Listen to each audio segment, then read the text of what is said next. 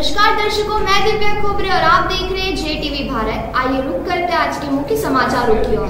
Bharatiya Janata party जिला अध्यक्ष भानु भूरिया की अनुशंसा पर भाजपा प्रदेश अध्यक्ष विष्णु दत्त शर्मा के द्वारा जिला उपाध्यक्ष के पद पर राणापुर ब्लॉक के रामेश्वर नायक राणापुर को नियुक्त किया गया। नियुक्ति के बाद समस्त टीम के साथ रामेश्वर नायक का भोपाल द्वारा तय हो चुका था, जिसके बाद भोपाल से तुरंत लौटने की सूचना से कार्यकर्ताओं में खुशी की लहर छा गई। मुलाकात व बधाइयाँ देने के लिए उनके निवास स्थल पर भाजपा कार्यकर्ता व समर्थकों की भी उपस्थिति होने लगी। राणापुर नगर परिषद नगर के समस्त पार्षद, भाजपा पदाधिकारी व कई कार्यकर्तागण ने उनके निवास स्थान पर पहुंचकर पुष्पमाला पहनाकर बधाइयाँ व स्वागत किया।